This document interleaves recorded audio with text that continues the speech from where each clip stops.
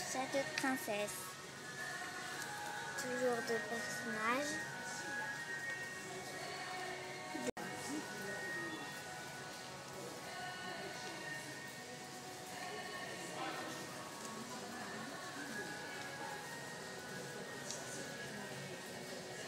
Il y a le roi avec sa fille, la princesse.